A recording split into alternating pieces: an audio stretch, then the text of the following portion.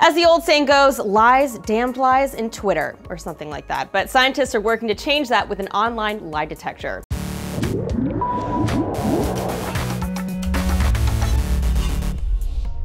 Hey, this is Annie for DNews. During major events like the current uprising in Ukraine, the Arab Spring, natural disasters, or even the Olympics, Social media is invaluable in getting info out to the public, but just as easily, real-time sources like Twitter can be a lie factory. Take the account Sochi Problems, which collected journalist complaints about bizarre bathrooms, hotels, and general weirdness at the Olympics, much of it hilarious. The problem? A lot of the photos weren't real, or at least they weren't actually from Sochi. In some cases, the photos were from totally unrelated stuff from Reddit. Twitter lies can have more serious consequences too, like in 2011 during the London riots. Tweets falsely reported that animals were loose from the zoo and that landmarks were on fire, panic ensued, police were diverted, and it was bad. During Hurricane Sandy, an account called Comfortably Smug tweeted out a series of lies, including that the New York Stock Exchange was flooded, which was then retweeted hundreds of times. In 2013, the AP Twitter account was hacked by the Syrian Electronic Army, who posted that Barack Obama was injured in an explosion. Even though it was corrected pretty quickly, the tweet caused the Dow Jones to drop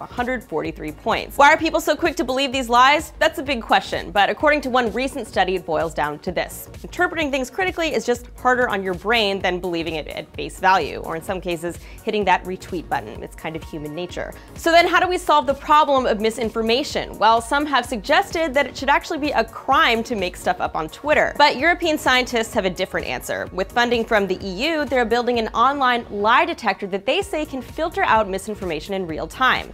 Called Pheme, after the Greek representation of malicious gossip, the system is still in development, but the researchers hinted at some ways to tell if a tweet is a lie. Bots, for example, are a factor, or ghost accounts that don't have much activity on them. And the key is also identifying the type of lie, whether it's malicious or based on speculation or controversy, then connecting the tweet back to the original sources to assess whether it's accurate. So if we can't rely on human judgment to suss out fact from fiction online, the EU is betting that computers can. The Pheme system will be tested by the Swiss Broadcasting Corporation and Institute of Psychiatry at King's College London. Do you think this will work? Should it be a crime to tell lies on Twitter? Let us know your reactions at DNews on Facebook or at our Twitter page. You can also reach me at Annie Gaus. See you next time.